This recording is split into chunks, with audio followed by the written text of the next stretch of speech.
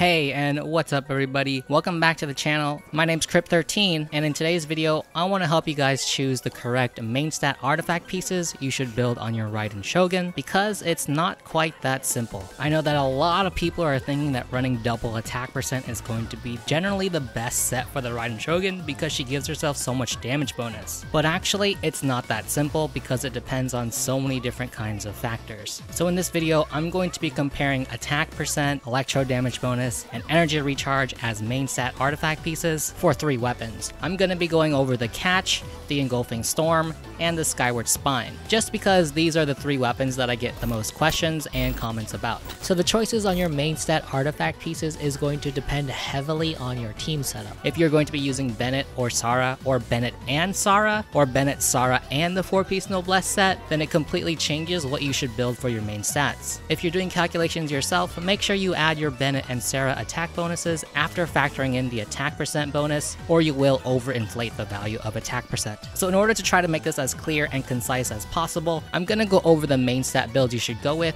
by weapon. So we're gonna start with the catch, go into the engulfing lightning, and then end off with the skyward spine. And for all of these weapons, we're going to explore attack percent with attack percent, attack percent with electro damage bonus, and then energy recharge with attack percent, and energy recharge with electro damage bonus. These are the only four combinations that we can build on the Raiden Shogun that actually makes sense. I think that for the most part, a lot of people understand the idea of diminishing returns and that we shouldn't overinflate damage bonus or attack percent, because when we do that, it causes an imbalance in the damage formula, resulting in overall less damage. But with the Raiden, because she scales off of so many different things and her weapon gives bonus to so many things based off of that same energy recharge scaling, it's hard to keep track of where all of your stats are. So I definitely challenge you to test your assumptions and do these calculations yourself to see if you're actually right. So let's start off with the stats that I'm using. I'm using a level 80 Raiden Shogun with talent level 10 scaling, running a 4-piece Emblem of Severed Fate and several substats. 9 rolls of crit damage at the highest tier roll, 6 rolls of crit rate, 3 rolls of attack percent, and 3 rolls of energy recharge. So in total, this ends up giving us about 120% crit damage and about 55% crit rate. We get an extra 17.4% extra attack bonus and 19.5% extra energy recharge.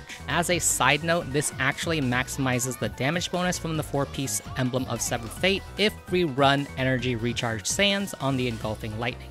And let's quickly go through an example of all of our damage bonuses when we run the Engulfing Lightning with an attack percent and electro damage bonus, main stat artifact piece. With this setup, our energy recharge ends up being 218.6%, and this comes from the Engulfing Lightning's secondary stat, the two-piece Emblem of Severed Fate, our Ascension passive, and our substats. This energy recharge goes up to 248.6% with the extra 30% after casting our Elemental Burst. Our Emblem of Severed Fate damage bonus is 62.15% based off of the energy recharge with that extra 30% energy recharge bonus and 54.65% without that extra 30% bonus. Our total elemental burst damage bonus is going to be that 62.15% or 54.65% from the Emblem of Severed Fate, an extra 27% from the Stormy Eye buff, giving us a total of about 89.15% for our elemental burst damage. Our electro damage bonus is going to be 59 49.44% based on our current energy recharge, and then an extra 46.6% from the Electro Goblet, giving us a total of about 106.04%.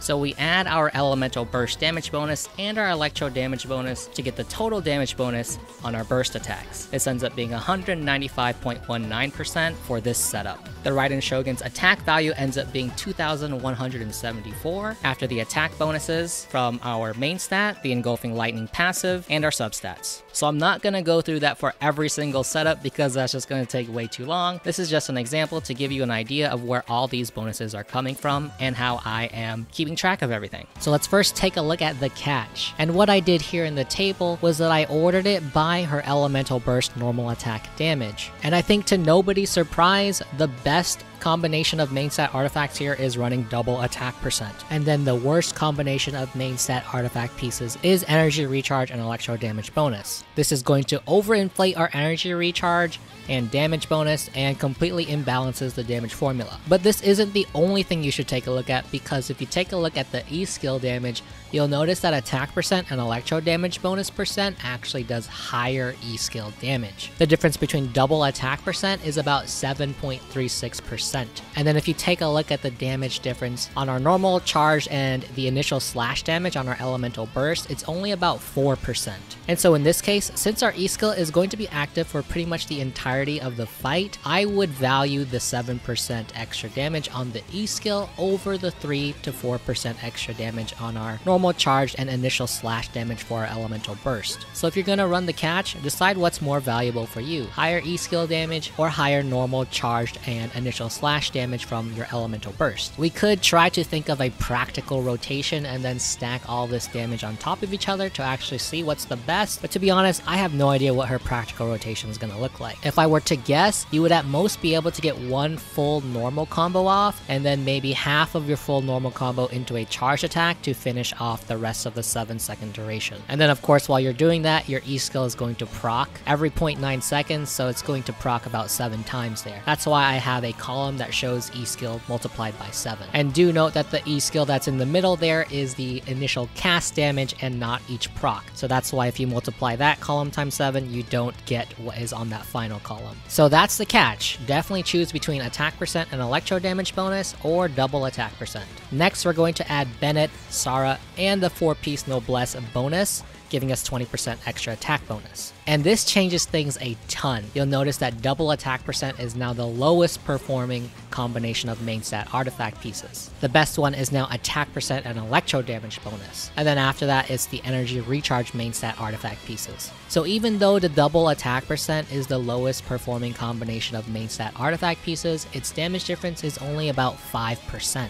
So in all honesty, it's not that much, and your substats are probably going to make up that damage if you have better crit stats on them. On the flip side, however, if we take a look at our E skill damage, there is quite a significant gap. The double attack percent has a 16% damage difference, and then the energy recharge and attack percent has a 14.61% damage difference. So that's definitely something you need to consider. If you're going to be running Bennett, Sara, and the Noblesse 4-piece set bonus, I would definitely go with energy recharge and electro damage damage bonus or attack percent and electro damage bonus. Next up, we take Bennett out of the equation and we just have Sara and the Noblesse 4-piece set bonus. And you'll notice here that the double attack percent bonus is no longer the lowest performing combination of main stat artifact pieces. The lowest performing ones are now the energy recharge ones. Do note here that energy recharge and electro damage bonus does have the second highest E skill damage though, but its normal attacks, charge attacks, and the initial slash damage for elemental burst damage has a difference of about about 7%. The difference between double attack percent and attack percent and electro damage bonus here is about 1% with our elemental burst damage, but our E skill sees a very significant damage difference. You'll notice that the double attack percent has a 13% damage difference when it comes to the E skill damage. And with 7 individual procs on our E skill, it's about 8.46%.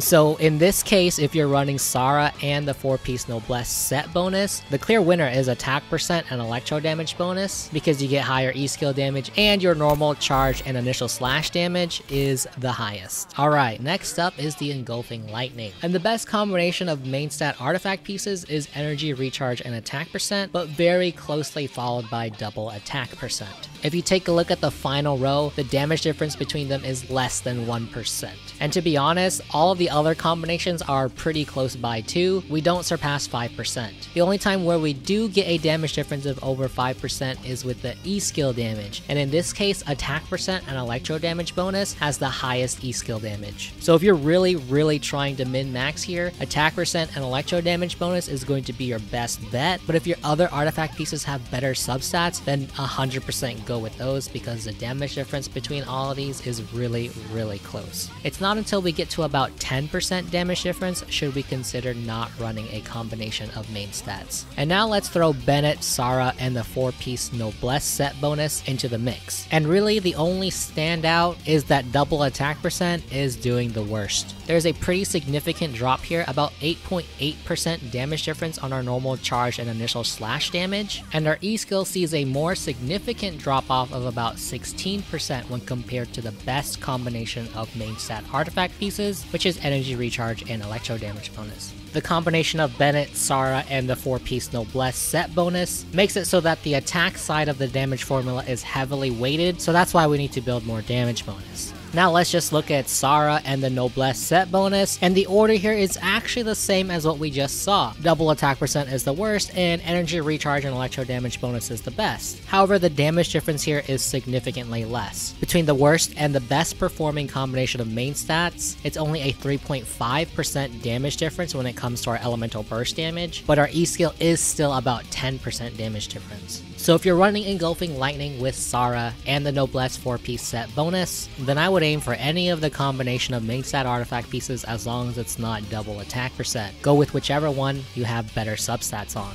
You could say that the energy recharge and attack percent is also not quite as good because there's a 8% damage difference in our E skill, but I'll let you guys decide yourselves if you think 8% is worth the headache of farming more artifacts or not. The last weapon we're going to take a look at is the Skyward Spine. Taking a look at it at just its base with no Bennett, Sara, or Noblesse set bonus, the best is going to be double attack percent. The two worst performing main set artifact pieces are the energy recharge ones, and there is a pretty significant damage difference between them. Energy recharge and electro damage bonus has a 17% damage difference when it comes to our elemental burst damage, and our E skill has about 9.22% damage difference. Energy recharge and attack percent is a little bit less pronounced with only 6.92% damage difference with our elemental burst damage and 7.5% with our E skill damage. So it becomes a choice between attack percent and electro damage bonus or double attack percent. Double attack percent gives us about 2% better damage on our elemental burst damage, but electro damage bonus gives us a 7.38% damage difference when it comes to our E skill. So in this case, I would try to aim for attack percent and electro damage bonus, but really just go with the one that you have better substats on. The third time around when we include Bennett, Sara, and the Noblesse 4-piece set bonus, I think you guys are starting to see the pattern, but double attack percent is not doing the best here. I think you are starting to see the pattern here, but double attack percent does the worst here again. If you're gonna run Bennett, Sara, and the 4-piece set bonus, I would choose between energy recharge and electro damage bonus, or attack percent and electro damage bonus because the damage difference between our elemental burst damage is around 5% or less, and between our E skill, it's less than 5%. Energy recharge and attack percent has too great of a damage difference between our E skill damage, at around 14.89%. Okay, and now to quickly round everything off again with just Sara and the Noblesse set bonus, attack percent and electro damage bonus is doing the best, followed very closely by double attack percent, and then our energy recharge ones. The damage difference here is a little bit funky because our elemental burst damage is very close, but when it comes to the E skill damage, things are really different. The smallest gap in our E skill is also the largest gap when it comes to our elemental burst damage. So the best choice here is attack percent and electro damage bonus, but will depend on what part of her kit you value more. Do you want more E skill damage or do you want more elemental burst damage? Take a look at the table yourself and the percent differences, and I would say choose the one that, as long as it's below 5%, go with the one that has better substats. So, in general, attack percent and electro damage bonus was the best set. It never really significantly underperformed. It also lets you be a little bit more flexible with your team comp because it doesn't do absolutely terrible when you slot in Bennett or Sara. Double attack percent was generally the best when we don't include Bennett or Sara and generally running energy recharge underperformed. But this is going to vary greatly because sometimes it underperformed just barely and other times it was quite significant. It was really significant with the catch and the skyward spine when we didn't include Sara or Bennett, so try to avoid running energy recharge if using those types of team comps. The nice thing about the engulfing lightning is that most of its builds were really close in damage with each other. The most damage difference we saw was about 5% when it comes to our elemental burst damage. The biggest difference in damage comes when we stack both Bennett and Sara, so if you're specifically going to be running those two, then you might want to avoid double attack percent. The other thing you want to think about with the Engulfing Lightning is your E skill damage because it varied. Certain main stat builds gave you more E skill damage, and then others is going to give you more elemental burst damage. For example, if you didn't run either Bennett or Sara, attack percent and electro damage bonus gives you the most E skill damage, but your burst damage is a little bit worse. However, it's only 1 to 2% worse, so taking that E skill damage would definitely be better. So anyway, I hope this helped you guys decide what main stat artifact builds you guys want to run, depending on which weapon you're going to use, and also depending on the team comp you're going to be running with. I hope that this shows that building for the Shogun is not so simple and it depends on so many different kinds of factors. You especially need to be wary of the people 100% recommending double attack percent because it's not the best in every situation. We also need to compare different artifact main stats with the Shogun because things vary pretty wildly with her. It is totally viable to compare a double attack percent Raiden Shogun versus an attack percent and an electro damage bonus Raiden Shogun just because of the way her scaling works. So anyway, if this video helped you out, leave a like and drop a comment down below. How is your artifact farming going and which main stats are you going to be going with? If you really loved the video, then consider subscribing to my channel. And until next time, I'll see you guys later.